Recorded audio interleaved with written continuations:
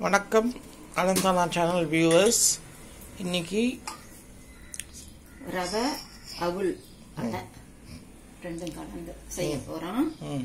அதுக்கு அவுள் ஒரு கப்பு எடுத்து முத தண்ணிய கழுவி கீழே ஊத்திட்டு அப்புறம் கொஞ்சம் தண்ணி தெளிச்சு கொஞ்சம் ஊற வச்சுக்கணும். ரொம்ப நேரம் ஊறணும்னு அவசியம் இல்லை கொஞ்சம் நேரம் போதும். அவுள் அஹ், இது ரவை வந்து இது ஒரு கப்புனா இது அரை கப்பு ரவை. தயிர் பழைய த- புளிச்ச தயிரா இருந்தாலும் சரி ஃப்ரெஷ் தயிரா இருந்தாலும் சரி அதை கொஞ்சம் ஊத்தி ஊற வச்சிடணும். அது பச்சை மிளகாயும் போட்டு வச்சுக்கலாம். பச்சை மிளகாய் இல்லாதனால நான் வர மிளகாய் போட்டிருக்கேன். பச்சை மிளகாய். கட் பண்ணியும் போட்டுக்கலாம் போட்டு அரைச்சுக்கலாம். எது வேணுமா இதை ரெண்டையும் அரைச்சு எடுத்துக்கணும். அரைச்சு ஒண்ணா கலந்துக்கிட்டு இதுல வந்து கேரட்டு கொத்தமல்லி கருவேப்பிலை இஞ்சி நமக்கு வேணும்னா வெங்காயமும் போட்டுக்கலாம்.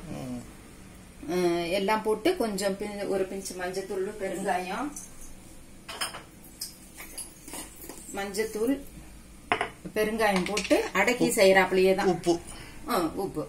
போட்டு கரைச்சு அடை மாதிரியே தான் திக்கா. அப்படியே ஊத்தி எடுக்க வேண்டும் நெய் ஊத்தி எடுத்தா ரொம்ப நல்லா இருக்கும். போறீங்களா? இது இப்ப அரைச்சு கொண்டு வந்துட்டுமா? ரவையும் அவளும் ஊற வச்சத மிளகா வத்தல் மிளகாய் வத்தல் கரைச்சுக்கலாம் முதல்ல அவுல் அடக்கி இப்ப கல்லு உப்பா இருந்தா அதுலயே போட்டு அரைச்சிடலாம் நான் டேபிள் சால்ட் போடுறேன் டேபிள் சால்ட் அப்புறம் இதெல்லாம் தான் மஞ்சத்தூள் மஞ்சத்தூள் பெருங்காயம். அடக்கி- போடுறது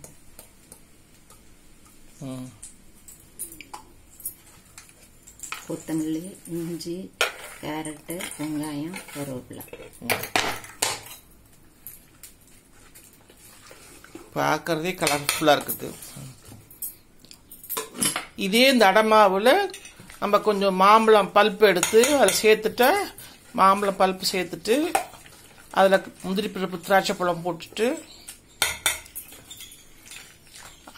அப்படியே பார்த்தீங்கன்னா அடை மாதிரி அதுவும் செய்யலாம். அது ஸ்வீட்டு இது காரம். இந்த மாவையே ரெண்டாக அரைச்சி வச்சுக்க தான் அவளும் ரவா தயிர் மூணு அரைச்சி. இதில் வந்து கார அடை. அது வந்து இனிப்ப இனிப்படைக்கு மாம்பழோட பல்ப் எடுத்துக்கணும்.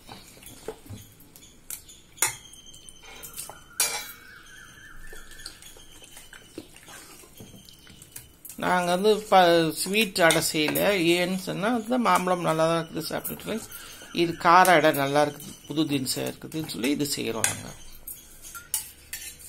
இப்போ பாருங்கள் எண்ணெய் ஊற்றிருக்கிறாங்க கல் காஞ்சிருச்சு.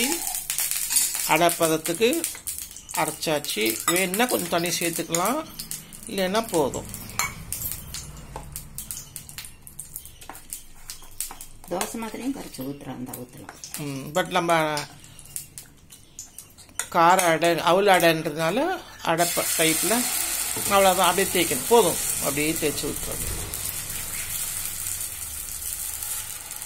பாருங்க இப்படி கலர்ஃபுல்லாக இருக்குது பாருங்கள் ரொம்ப டேஸ்டியாக இருக்கும். நெய் ஊற்றிக்கலாம் இல்லாட்டி எண்ணெய் ஊற்றலாம் நல்ல எண்ணெய். இது கொஞ்சம் ஒரு ரெண்டு இடத்துல குழி பண்ணி ம். அடுப்புற எண்ணெய் ஊற்றிட்டோம்னா எண்ணெய் நெய்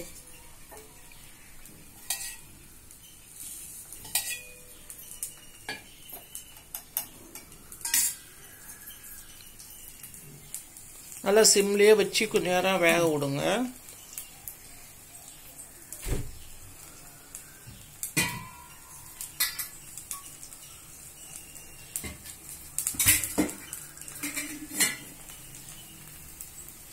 பாருங்க அட கலரையே பாருங்க என்ன அழகா இருக்கு. கத் கருவேப்பிலை கொத்தமல்லிலாம் போட்டோன்னா கலர் டிஃப்ரெண்ட்டாக இருக்குது மஞ்சத்தூள் வந்து அந்த எல்லோ கொடுத்து கலர் கொடுத்துருது. அடக்கி கலர்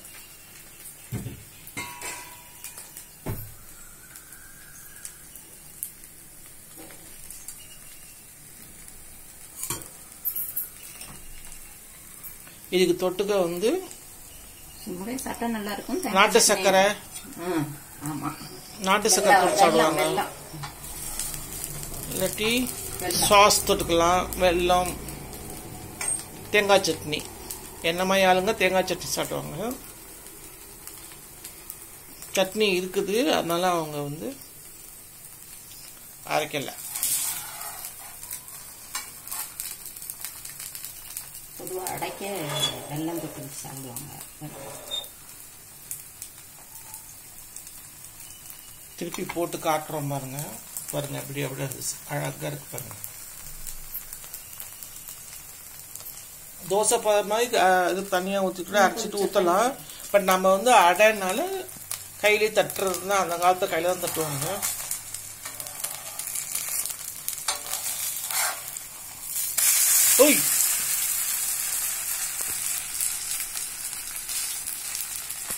பாருங்க.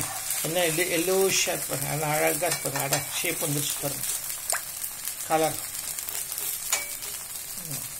நீங்களே செஞ்சு பாருங்க. உங்களுக்கு பிடிச்சிருக்கும்னு நினைக்கிறேன். நலம் தானா சேனலுக்கு சப்ஸ்கிரைப் பண்ணுங்க. ம். பெல் பட்டனை ப்ரெஸ் பண்ணுங்க. வேற ஒரு வீடியோவில் பார்க்கலாம். Thank you bye